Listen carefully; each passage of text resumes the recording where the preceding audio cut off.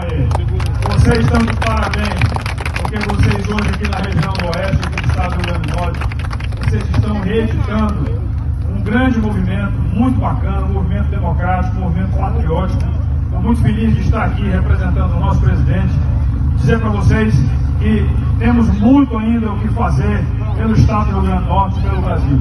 Certo? Então, muito obrigado mais uma vez a vocês. Vamos tirar logo a fotografia, porque senão as formigas vão comer os pés da gente. Brasil acima de tudo!